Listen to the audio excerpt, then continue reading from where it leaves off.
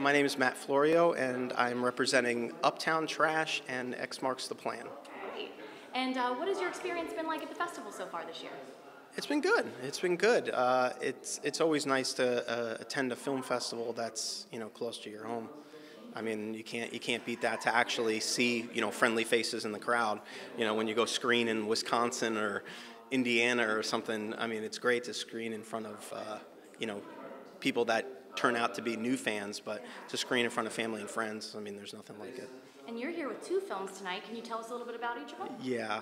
Um, the uh, Ex Marks the Plan is about uh, two best friends who uh, their lives aren't as exciting as they wish they were, and they make a pact to uh, get their exes back.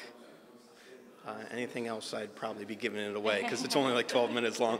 Um, and then Uptown Trash is about a normal, everyday guy who's seduced by two supermodels.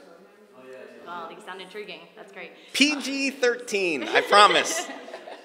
uh, okay, great. So, um, being part of Voices Local Film, what do you feel is an important part of why the local community should come out and support local filmmakers?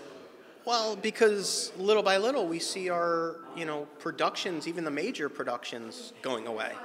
So I mean, I mean, after the major production go, all we all we have is you know local filmmakers, and you know with you know even with the student showcase of film, I see my alma mater, Florida State University, uh, you know, cleaning up awards and everything else. I mean, but but they're training uh, their students, and then the students have to end up going to New York or Los Angeles. Or so, I mean, it would be great to keep talent home. Completely agree. And so, what would be something that you say you enjoy about filming in the South Florida region or in Palm Beach County in particular? Um, annoying uh, friends and family members by shooting in their houses. Um, no, I mean, I, I know so many, I was born and raised here, so I know so many people that, you know, to get access to, you know, businesses and to get access to locations that would anywhere else would cost me, you know, a substantial amount of money, to get those for free based on, you know, favors and friendships is, is uh, definitely the biggest perk of them all. And, and I like to also uh, throw in people that I know, just little fun cameos too. Yeah. Fantastic. Anyone you'd like to thank tonight?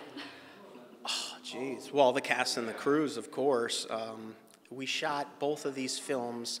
Uh, these films were actually shot in New Jersey. Each of them was shot uh, in less than 48 hours, both, both films. We use pretty much the same crew, but um, David the Voice Stein, who uh, is the star of one of them. He wrote one of the films. Uh, I directed both films, produced them with uh, David and also uh, Frank Angelsic, who was the cinematographer on both films, and Walter Schick did the uh, music for both films. So I like to keep uh, keep my crew together. Good people. You don't want to lose good people. So awesome. yeah. Thank you so much, Matt. Thank Looking you. forward to seeing the movies tonight. All right. Bye.